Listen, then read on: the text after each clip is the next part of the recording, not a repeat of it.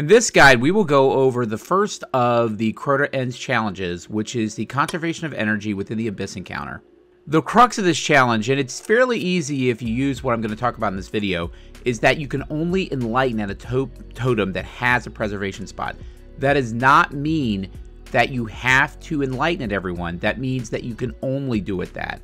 And obviously you have to unlock all the preservation spots to allow the bridge to be built to finish the encounter. A couple recommendations I'm going to make here is first off, you want to turn off all the thrall if possible, especially if doing this master. To do this, I would recommend running Strand with an Eager Edge Sword. If you have Navigator with the Catalyst, that's great to create grapple points. Or just have everyone run a Strand Hunter and drop constant grapples with your super to mark the path. So again, if you go to each level, so in other words, if I show this map, there are three levels to the encounter. If you go up basically to the top of each of those, the level below will despawn. So there's a couple ways you can do this. You can go to each level first, go all the way to the top of the first level, and then all the way to the top of the end. Or you can work backwards. Either way, all the spawn will stop continuously spawning. Whichever ones were still there will still go through, and the big yellow thrall will still spawn. However, you will be it'll make this encounter much easier.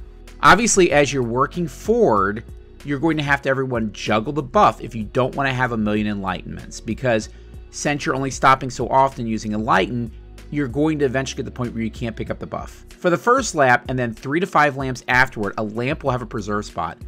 Easy to figure out if you're moving forward and you don't see a lamp lighting up, you know there's a preserve spot there. Again, folks with grandpa will help there, especially if they're staying ahead. Preserve and then decide if you want to enlighten or not. You really don't have to enlighten anywhere on the map if you don't want to.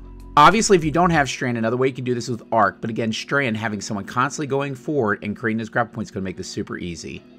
If you do have Strand, just be careful about holes and swinging lamps as you're going forward. Do this, go to the bridge, the encounter, and you're done. Not a terribly difficult challenge, but it does require some coordination, and on Master, obviously turning off the thrall going to be important. That's a video. If you like it, feel free to like the video, subscribe to my channel, check my Discord, and I'll see you Guardians in the Tower.